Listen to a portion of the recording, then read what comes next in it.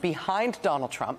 It raises the question of what room there is for Nikki Haley to make progress among Republicans.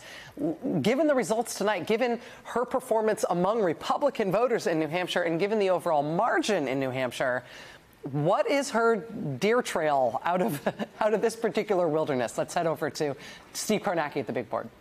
Take a look here. I'll call it up here to latest results, and I, I think this does uh, well, let's get New Hampshire up here. And I, I think let's get to that question here. Um, as soon as I can get it up on the screen. Okay, the question here of what Haley is going to come out of New Hampshire with tonight, which gets to the final margin, which gets to where she's getting her votes from, where Donald Trump is getting his votes from.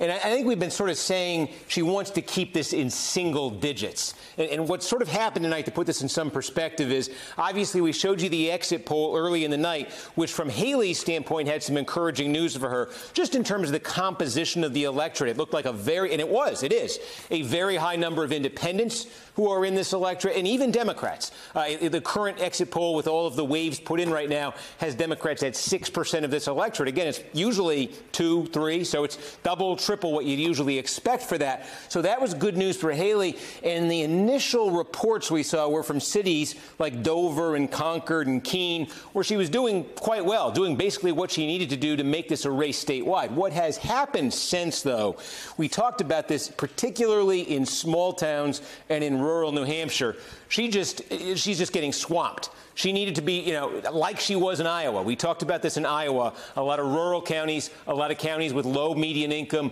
with low college attainment. She wasn't even getting out of single digits in, in Iowa. And she's not, you know, she's out of single digits here because it's a two person race, but she's getting swamped in a lot of those places. So that has held her back from really making this competitive statewide. And then she's had some other things kind of go wrong for her. Take a look at this one. I think this is the biggest on the board right now. Nashua is the second largest city in the state.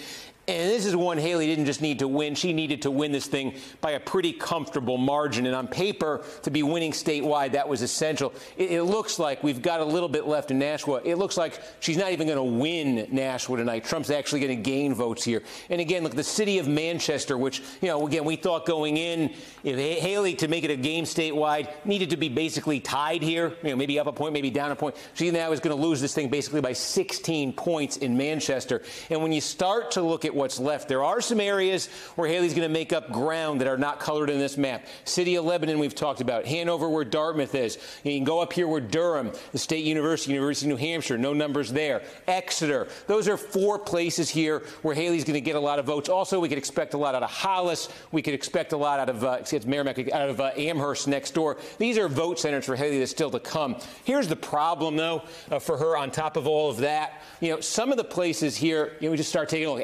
Salem. Salem is the sixth largest uh, town in New Hampshire. It's got more than 30,000 people. Um, it was one of Donald Trump's best towns in 2016. Remember, I said the border, the suburbs, the bedroom communities aren't necessarily the moderate, independent enclaves. Salem is a perfect example. We don't have numbers from here yet, but based on everything we're say, seeing, this should be a blowout Trump win where he really gains uh, a big plurality. I mean, that's going to be true as well. We expect the same thing to happen in Pelham. We expect that to happen potentially in Windham when that comes in. Derry, Derry, uh, uh, you know, we've had reporters there, I know. Derry's another big, big community where I think based on what we're seeing, you can expect Trump to get a lot of numbers out of that. So what it all kind of adds up to here is, again, we've got half the vote in right now, 48%. Trump is leading this by 11.2%. I think there's a very very real possibility um, that it's very plausible that Donald Trump is going to end up winning the state by double digits. Uh, when Nikki Haley took the stage earlier, there were some indications of a far less vote in. We're looking at that exit poll, and it looked like, hey, this might be a five, six point race, and she can go make some noise based on that. But if this ends up, you know, 10, 11, 12 points for Donald Trump, and he's winning essentially three quarters of the Republican vote. She's only getting 25%, as we showed you, the Republican vote. What is she walking out of this state with tonight to go make her competitive in any other state? Because this mix that we've seen tonight, we've talked so much about, you know, there will be some states that can come close to this.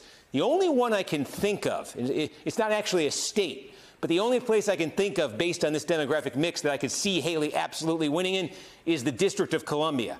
They've got wow. 19 delegates. Donald Trump got 13% there in 2016. Kasich and Rubio combined for well over 60% of the vote. I don't think he's going to win the District of Columbia if she's still an active candidate there. It's very hard to find other places where she could uh, where she could actually post a win based if, if, if, this wasn't enough for her and it ends up being double digits. And like I said, the other big problem becomes then this is not like the Democratic primaries. This is not like the Democratic primaries where everybody, as long as you get 15 percent, is getting a delegate out of every single congressional district on the map. The, rules in most of the states and in most of the big states on Super Tuesday are you win a congressional district, you get every single delegate, you get 50 percent you get every single delegate in it. You get 50% statewide, you get every at large delegate. And functionally, in a two person race, all Trump has to do basically is beat Haley. In any given congressional district, in any given state, he could beat her by two points. He would take all of the delegates. And again, just based on the fact that Haley's still only at 25% with Republicans, and you're really not going to see this mix anywhere else. You know where else you might see this mix? You might see it next door in Vermont. That could be another target for her. Vermont with a negligible number of delegates, though. I'm talking about Texas. Texas, talking about California, Alabama, Arkansas, Oklahoma, Michigan. These are states where, you know, Trump's just got to go in there and win a congressional district by even a single vote. He'll get all the delegates out of it. So it's designed on the Republican side, unlike the Democratic side, not to be a six month slog that could even be active going into the convention. It's designed to be wrapped up quickly. And just taking this mix, Trump with this kind of mix, would be poised for a massive, massive Super Tuesday.